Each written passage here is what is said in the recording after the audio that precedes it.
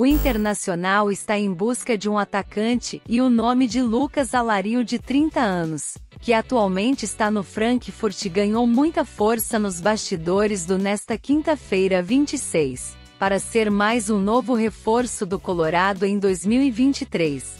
Segundo o jornalista Lucas Colar, que cobre o Inter, a equipe projeta novas investidas na Europa após o fechamento da janela, no dia 31, para a camisa 9 dois alvos, Borré e Alario. Para o meio-campo, desejo ainda é Jean Lucas, do Mônaco. O óbvio precisa ser dito: negociações consideradas difíceis pelo clube.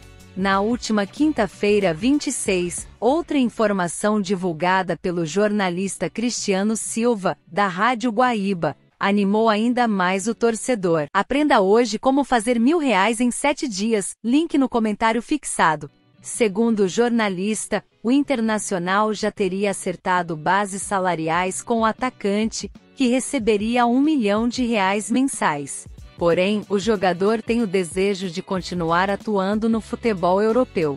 Por isso, o clube gaúcho espera o encerramento da janela de transferências do velho continente, que é dia 31 de janeiro, e caso o atleta não receba propostas de outras equipes europeias, as chances de aceitar atuar pelo Internacional aumentariam, informou o portal do Colorado.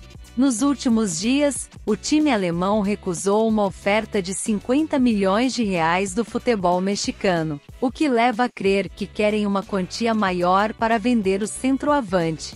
Além disso, o River Plate também sonha com o retorno do jogador, que foi um dos principais nomes da Era Galhardo no comando do time milionário.